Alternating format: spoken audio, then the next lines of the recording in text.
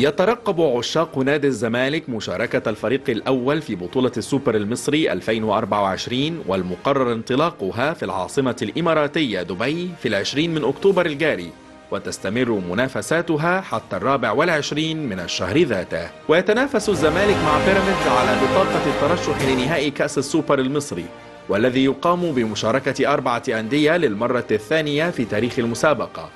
ويلتقي الفائز من مواجهة الزمالك وبيراميدز أمام المنتصر من لقاء الأهلي وسيراميكا كيلوباترا على اللقب. ويخوض الفارس الأبيض منافسات السوبر المصري بمعنويات مرتفعة بعد عناقه لكأس السوبر الإفريقي على حساب غريمه الأهلي في الرياض قبل أسبوعين ماضيين.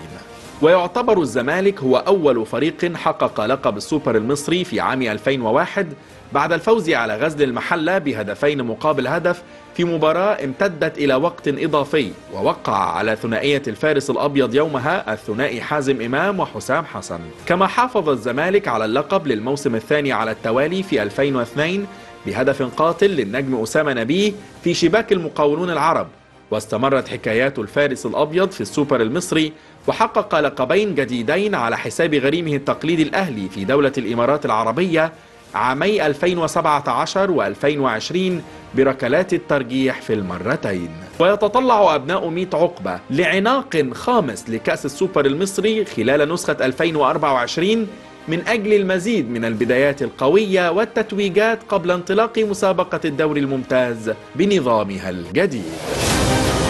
Thank you.